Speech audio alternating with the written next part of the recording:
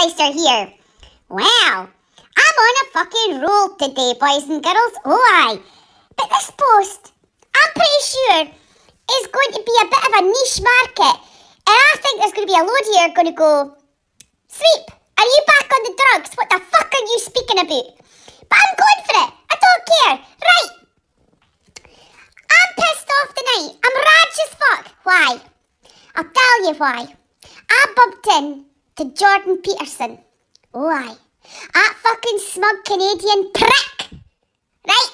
So, he was going, oh, what does he want? What does he... And I was like, whoa there. Whoa there, pal. I'm not he. And I'm not a she. I'm a dog.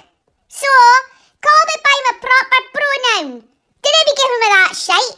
And he's like, I'm not going to talk to you in, in any kind of pronoun. I'll speak to you like I want. I'll call you he or she. I'm not going to be told or legislated against. And I was like, mate, read it in. I saw you with one of my fantasy threesome, Cathy Newman, on the Channel 4 News. Oh, aye, you went pure fucking rage at her, but she went more rage at you. Oh, aye, she had you by the fucking balls, mate. I seen it. And I was like, ah, I've got even a bigger boner now for you, Cathy Newman, because you are taking that motherfucker down to Chinatown. Right.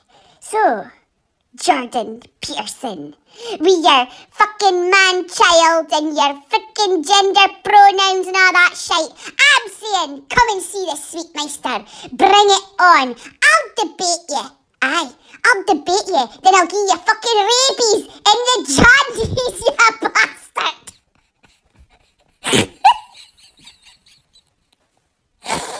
oh, it's been a long day, boys and girls. I think I'm the only person laughing at this.